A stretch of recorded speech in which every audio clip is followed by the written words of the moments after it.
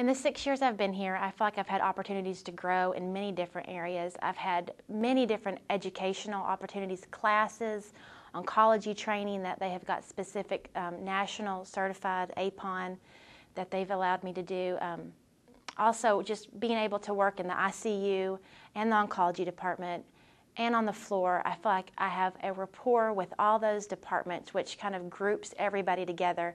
Because I feel like it's not just the floor, it's not just the ICU, we're all a team.